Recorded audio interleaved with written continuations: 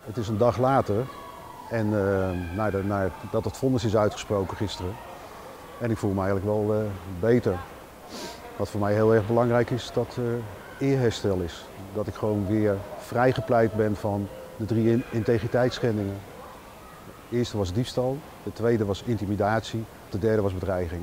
Ja, wat is mijn toekomst? Mijn toekomst, ja, ik ga ervan uit, wij, uh, wij moeten in gesprek met de gemeente om te gaan kijken hoe ik weer terug kan in mijn uh, functie zoals de rechter heeft geoordeeld. Terug in mijn oude functie. Of ik een haat-liefdeverhouding heb met de Domtoren, ja. Ik kan je eerlijk vertellen, het is 23 maanden geleden dat het uh, begon.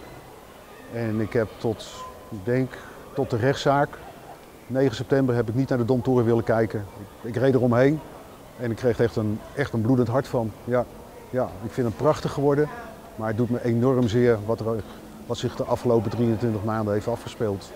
Ja, op 9 november is de onthulling en daar worden allerlei eh, mensen voor uitgenodigd. En ik hoor al van diverse mensen, zelfs oud-collega's die al vijf jaar met pensioen zijn, dat ze zijn uitgenodigd.